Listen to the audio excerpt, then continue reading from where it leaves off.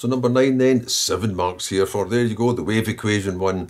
And then a second part where you use that, and it's that nice little one where you just define the maximum value and when it occurs. But anyway, the first part, write this in the form of k sine x plus a.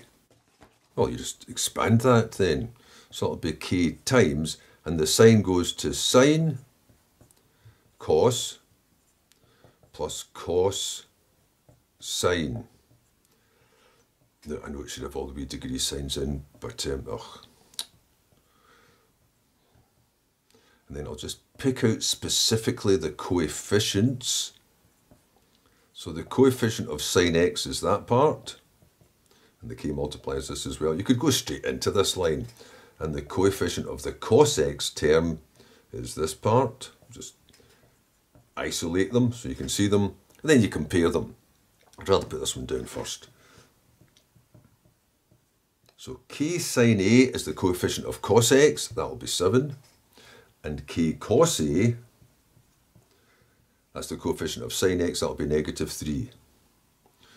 Pair of simultaneous equations.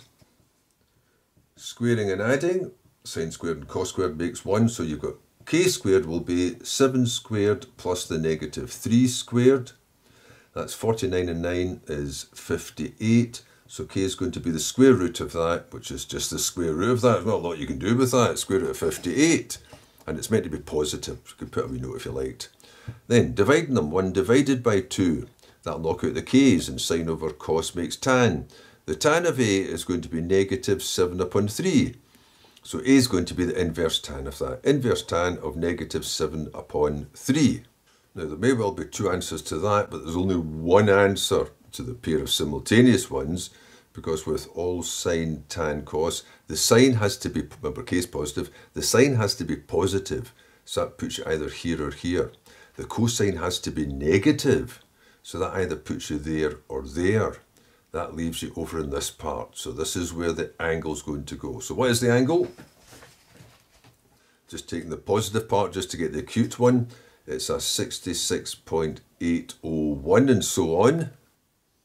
Which means that angle A is going to be on this side. It's going to be 180 minus that.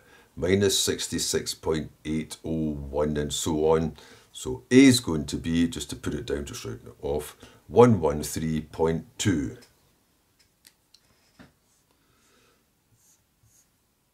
Well, we put it all together now, so that then comes to root 58 sine of x plus 113.2 degrees.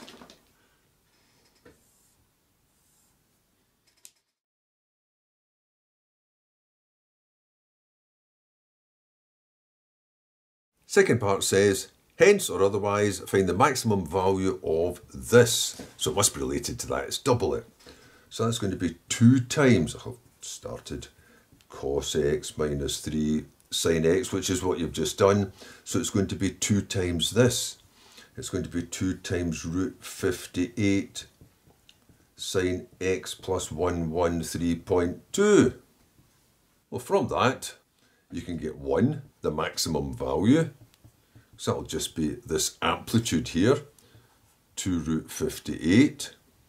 And 2, when it occurs, it'll occur when the sine is at its maximum. So that'll be when the sine of whatever equals 1. That means when this angle, x plus 113.2, equals 90. Now you notice if you take that across, it'll be negative, it'll be out of range because it wants x because it wants x between 0 and 360. So if that's not going to be enough, just put on another 360. Now it's just a case of taking that 113 away from the sum of those and putting in the answer 336.8. So that was a reasonable question for a higher, I suppose.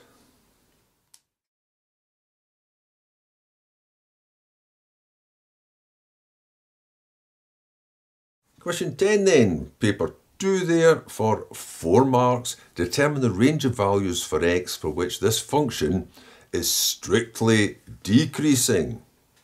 Well, you'll know which way it's going from its gradient, which you'll get from its derivative, so differentiate it. So that'll just be 6x squared plus 18x minus 24. So strictly decreasing. That means always going down, no rests involved, no gradients equal to zero. Strictly decreasing, just you keep going down, means that that derivative, the gradient, has to be less than zero. So what you've got is a quadratic equation then. You've got 6x squared plus 18x minus 24 is less than zero.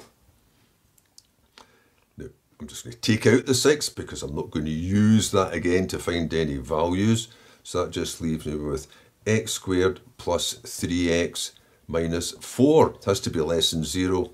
And I'll factorise that. So I'm considering this little cubic, this little quadratic here. x, x, it must be 1 and 4, mustn't it?